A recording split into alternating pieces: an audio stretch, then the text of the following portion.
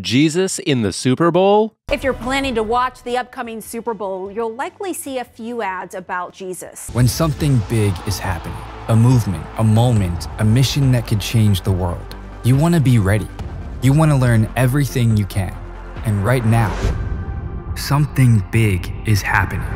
He Gets Us is a multi year national campaign to raise the respect and relevance of Jesus in our culture. It's starting conversations, it's grabbing attention and changing minds. It's all over Twitter, in Times Square, on billboards and in stadiums. And on February 12th, you'll see it on the biggest stage in America. You'll see Jesus in the Super Bowl. The conversation is starting. Are you ready for it?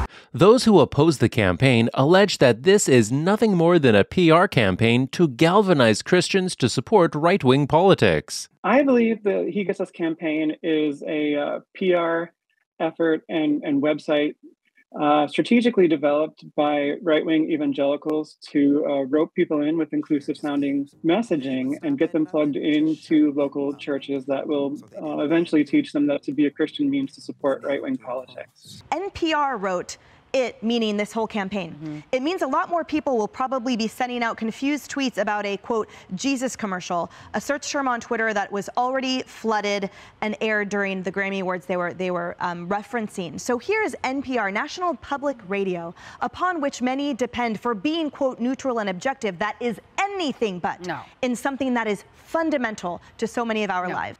But just saying the word Jesus is riling up some people on social media. One person tweeting, Glad I'm an atheist.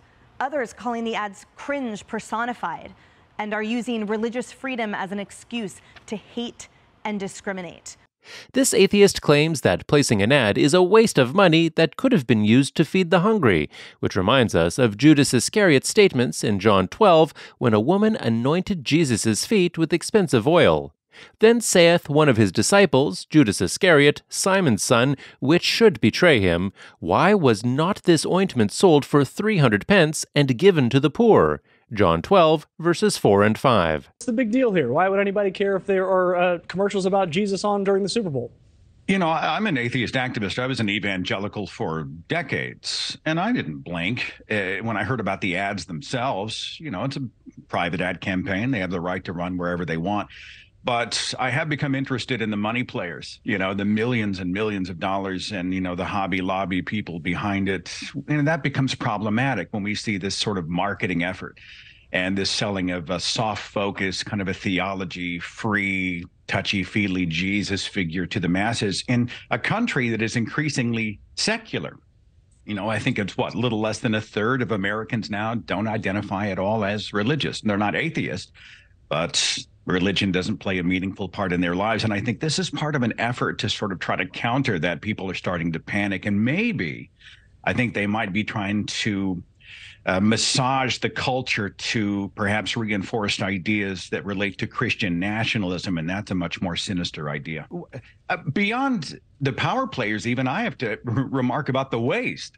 You know, I think about it. You know, instead, if Jesus, the best version of Christ, exists, and he saw this campaign running. I have a feeling he would go to Steve Green and Hobby Lobby and all the money people, and he'd say, Why aren't you feeding poor people? Why aren't you building shelters? Why aren't we aiding the people in Turkey and Syria? Why aren't we alleviating suffering in a tangible way instead of telling people ideas about Jesus that they kind of already know about. I well, think if you're Christ the Green family, though, and they are doing a lot of the things, the philanthropic things you describe, can't you just do them all? Especially if you have plenty of money, like they seem to.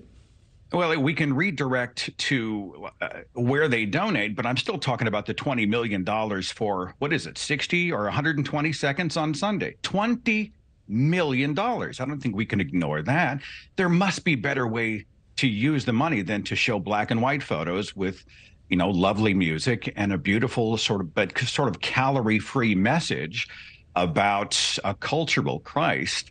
Uh, i don't know. I, i'm not convinced that christ himself would have endorsed this campaign However, we will say that this atheist is correct in that the kind of Jesus this group promotes is a touchy feely and social and cultural revolutionary type of Jesus, which we will address shortly.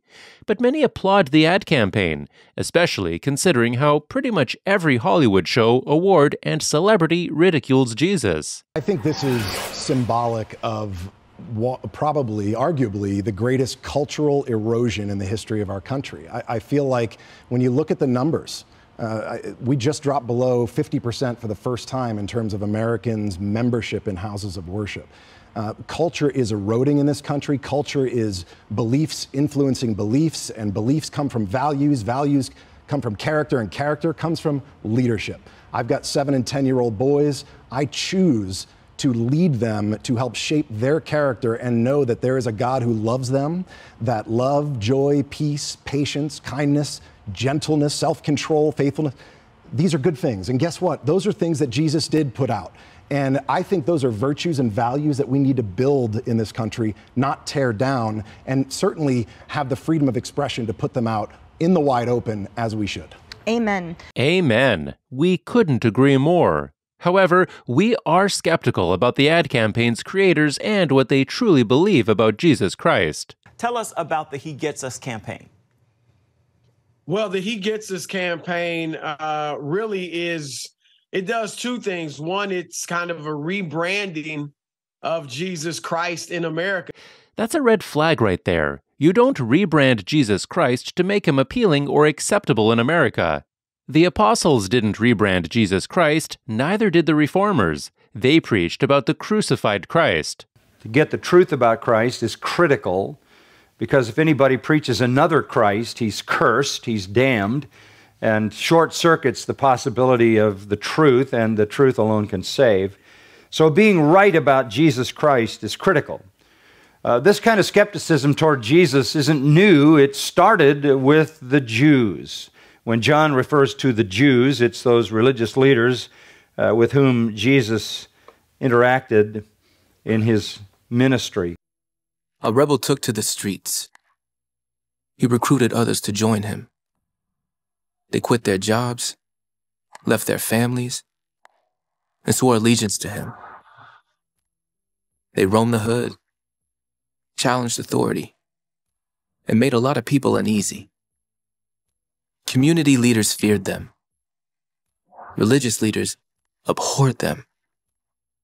Law enforcement labeled them outlaws. We have to shut them down, they said. Get them off the streets. Protect our communities from these troublemakers. But they weren't part of a gang spreading hate and terror. They were spreading love. Please help us spread biblical truth. Subscribe, like, and share. God bless you. We're trying to unify the American people around the confounding love and forgiveness of Jesus. The campaign website is filled with phrases saying Jesus called out the toxic religious and political systems, led the protest against the walls that divide us, and broke the chains that held women in bondage. Merchandise declares Jesus was a refugee and an immigrant. At first blush, it can all read like a stand against radical right wing politics and related divisiveness. But the campaign pointedly says this is not an attack on anyone. It is an outreach to young Americans whom polls show are abandoning Christianity and other faiths at a historic pace. There are a lot of misconceptions about Christ uh, here in America. um, people associating him with various political views and uh, various groups of people associating him with elitism and, and negative things in our country's past. And he gets us is rebranding that, uh, showing that Jesus is for all people of all races, ethnicities, uh, of all socioeconomic statuses. Uh, so that's one thing it's doing, but also it's kind of showing in our polarized society how um, you know people are either getting angry uh, with the other side or they're avoiding the other side altogether. And we're showing through Jesus there's a third way, and that is to respect one another and to love other people with various views different from yourself. Jesus obviously told us, taught us to love our enemies. Um, and so we want to just show that confounding love of Jesus Christ to America and show that his example and his teachings and his life really uh, hold the answers to our modern day challenges that we're facing individually and as a society. For the most part, there's nothing wrong with what he said about the humanity of Jesus, but what is lacking in the He Gets Us message is the divinity of Jesus Christ. Even when you search their website, the focus appears to be on Jesus' humanity. Most non believers do not have any issues with the humanity of Jesus Christ, but where they disagree with Christians is the claim that Jesus Christ is God Himself. For anyone who doubts that Jesus Christ is God, read Isaiah 9, verse 6. For unto us a child is born, unto us a son is given, and the government shall be upon his shoulder, and his name shall be called Wonderful Counselor, the Mighty God, the Everlasting Father, the Prince of Peace. It is undeniable that verse is a messianic prophecy about Jesus Christ. Titus 2, verses 13 and 14 explicitly refer to Jesus as God, looking for that blessed hope and the glorious appearing of the great God and our Savior Jesus Christ, who gave himself for us that he might redeem us from all iniquity and purify unto himself a peculiar people, zealous of good works. Through the centuries, these pseudo scholars and skeptics have, as I said, accumulated and been intent on denying that Jesus is God. What did he say about himself? That's essential. There are some, there are many who say Jesus never claimed to be God. He assumes, of course, all through his ministry, the prerogatives of deity and divinity. He uh, declares that he has control over life, creation, death, he declares that he is the one who determines eternal destiny, and more of that unfolds in verses 25 to 29. He has the power, he says, to answer prayer. He has the authority to forgive sins. He has control over the angels. He has the power to open the kingdom. He has the right to receive praise and worship. He is to be obeyed in a way that is due only to God. Without correction, Jesus accepted the title of King, the title of Messiah, the title of Savior of the world, the title, messianic title from Daniel, Son of Man and Son of God. He took the sacred name of God, the Tetragrammaton, and applied it to himself numerous times in the Gospel of John. He declares himself to be the I am. All these lines of testimony, all these assumptions uh, that Jesus assumes find here not an implication, but an explication as he completely, clearly identifies himself as God. We all know that he said, If you've seen me, you've seen the Father. I and the Father are one. Those are inescapable. He says he's equal to God in five ways. Five ways in nature, in works, in power, authority, and truth. Jesus doesn't act as God's representative, he acts as God. He is self existence. God possesses life in himself. Look at verse 22. For not even the Father judges anyone, but he has given all judgment to the Son. Do you, do you know who the ultimate authority is? The ultimate authority is the one who makes the ultimate judgment. The ultimate authority in a courtroom is the judge. The ultimate judge is the one who determines everlasting destinies. And that's the claim that Jesus makes. The, the Father then has established my equality. The Father has given me all judgment, He has given me all life, eternally so. Our wills are in perfect harmony. All judgment can be delegated to the Son in assurance that He will act in perfect accord with the Father's will. He will only act in accord with the Father's will then why does the Father delegate it? So that we will understand that we are dealing with God when we're dealing with Jesus Christ. He is claiming to be the supreme judge of the universe. Now, you're running two commercials during the Super Bowl. What can you tell us about them? Yeah, well, one will be a 30 second piece, uh, the other is 60 seconds. And as you said earlier, you, you know how important and impactful these commercials are during the Super Bowl, it's a great chance to reach um, a huge swath of Americans, many of whom um, may never go to church, or at least up to this point would never go to church. Uh, many of whom may have a false or negative view of Jesus or Christianity.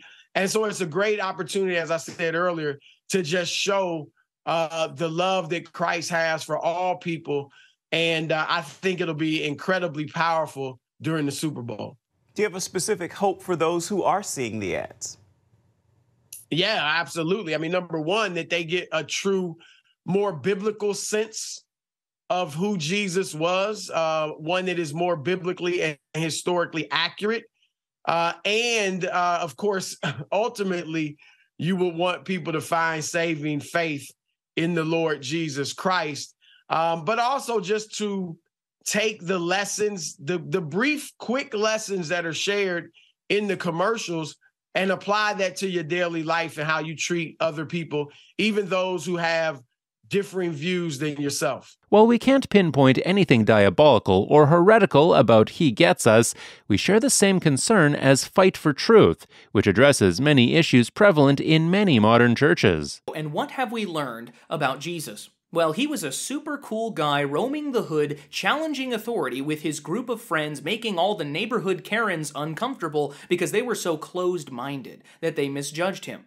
The whole thing is intentionally framed to be culturally relevant, rather than a direct presentation of real biblical truth. It's meant to be provocative, clever, vague, but not clear and descriptive. And as a result, we have this weird amalgamation of clips and images that tell us basically nothing about the biblical Jesus. In what way was he a rebel? Why didn't the religious authorities like him? What did Jesus actually teach when he was walking the streets, or as they would like to say, roaming the hood?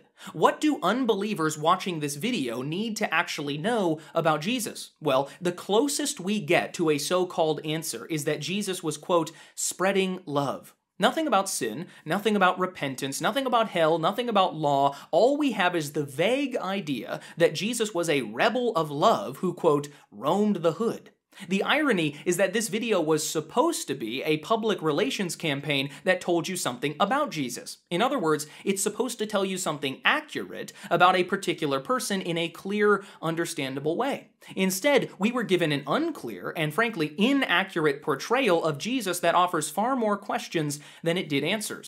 More than ever, America needs Jesus. And if this country continues on this current path of rejecting Jesus, mocking him, and persecuting anyone who boldly proclaims the name of Jesus, the judgment of God, which had already begun, will come upon this nation in ways no one could fathom. When you study several books of the Old Testaments, such as Judges, Jeremiah, and Ezekiel, to name a few, you see how Israel suffered greatly when they abandoned God and embraced idolatry and all forms of perversions. No, this country actually does need to find Jesus. The hate in this country is just so awful. I mean, it's at really honestly a most all-time high, the extreme left and the extreme right, and I'm not talking about one side or the other, because anytime that I meet someone who's politically extreme or an extremist, that does derive from a place of hate. Jesus teaches us to love thy neighbor, to love one another. And so I do believe that this country needs to find Jesus, and I and I think that this country is also very anti-American. So why would they not be anti-God?